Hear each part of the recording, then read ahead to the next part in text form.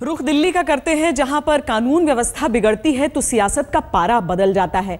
यहाँ पर दिल्ली पुलिस और केजरीवाल सरकार के बीच लगातार ठनी हुई है।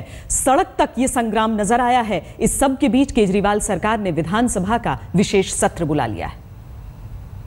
दिल्ली पुलिस का अगर कोई ठुल्ला किसी रेडी पटरी वाले से पैसे माँगता है, उसके खिलाफ भी केस नहीं होना चाहिए। ये मंजूर नहीं है।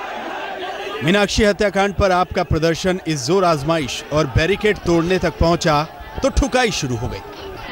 जब लाठियाँ पड़ी तो कार्यकर्ता लौटने लगे।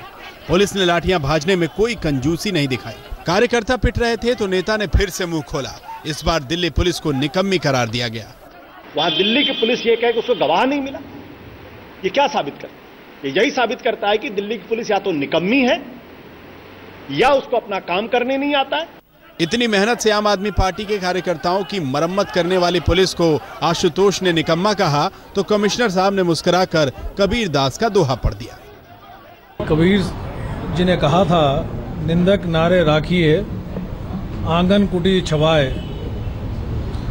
बिन पानी, साबुन बिना निर्मल करे सुबाए। तो भाई मेरे को अगर कोई क्रिटिसाइज करता है तो मुझे उससे कोई समस्या नहीं है।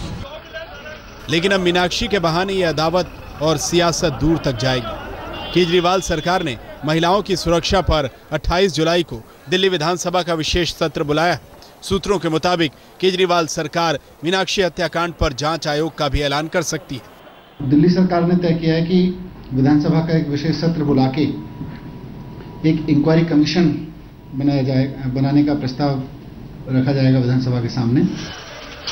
कुमार कुणाल दिल्ली आज तक।